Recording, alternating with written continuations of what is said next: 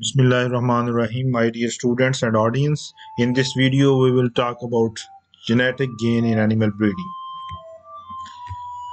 Genetic gain is the rate of genetic improvement within a breeding population over time. Its examples are kilograms of milk yield per generation in Sahiwal cattle, kilograms of weaning weight per generation in Dhanni cattle. Uh, we obviously we would like to increase both of them, both of these traits, and uh, Third is seconds of racing time per generation to cover 2000 meters in Arabian horse. So this is a racing horse. We need to decrease the racing time to win the race. So our uh, uh, our objective depends upon our direction of selection. Either we need to increase that rate or decrease in the future progeny. This is a typical breeding program which starts from defining production system, defining breeding goals, collecting phenotypes, genotypes, and pedigrees, determining selection criteria and breeding value estimation. And here at point stage 5, it comes a selection and mating and predicting selection response. So genetic gain basically tells us how much we have achieved through uh, a selection program or through a breeding and mating decisions. So this is simple formula for genetic uh, gain estimation. It is also called breeder's equation. It is delta G. Delta is for change and G is for genetic gain. So delta G is uh, rate of genetic change, genetic gain. Uh, uh, it is genetic gain is equal to intensity I multiplied by RIH multiplied by sigma A. I stands for intensity of selection. RIH stands for accuracy of selection Sigma A is genetic standard deviation, which is equal to the square root of additive genetic variance sigma square A. So these three values are required for calculating genetic gain. Now, intensity of selection. It is, it is derived from proportion or percentage of population we are using for breeding. For example, we have 100 animals uh, in a population and we are interested in using top 5% for breeding. So corresponding intensity value would be 2.063 if we are using top 10% for selection it would be 1.755 if uh, for some reason you are using all 100 animals for breeding then intensity value would be zero and genetic gain would be zero. There would not be any gain from that selection so this is a, a tricky formula for uh, calculating intensity is equal to phi x over p. p is proportion selected, x is the mean deviation of the selected group, and phi x is probability density function for standard normal distribution. You do not need to learn this uh, uh, derivation.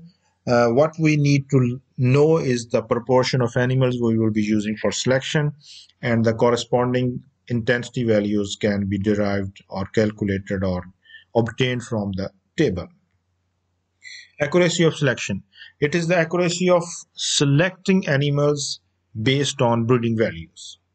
So breeding values are estimates of true breeding values. We know true breeding values are unknown and quality of our estimated breeding values is measured by accuracy. So what is accuracy? It is correlation between estimated breeding values and true breeding values and accuracy values range from 0 to 1. 0 means no correlation and 1 means 100% correlation. So the closer the EBV is to true breeding value, the higher the accuracy and greater the response to selection or genetic gain. So we need to be more accurate to get higher values of genetic gain genetic standard deviation. Uh, this is basically measure of uh, genetic variation in a population for that trait. If we have more variation, we will get more genetic gain. If less variation, we will get less genetic gain. Just to recap, we know P is equal to G plus E plus G into E. Phenotype is equal to genotype plus environment plus genotype into environment interaction. Suppose G into E is 0 so P is would be equal to G plus E. Now we know that uh, gene action is uh, uh, of three types, additive, dominance, and epistasis, and we presume dominance and epistasis is zero. So now G would become equal to A and P is equal to A plus E. Uh, let's take variation of each of them. Variation in phenotype is equal to variation in additive gene action plus variation in environment. So this uh, variation uh, is expressed in terms of variance which is called sigma square. So sigma square p is equal to sigma square a plus sigma square e.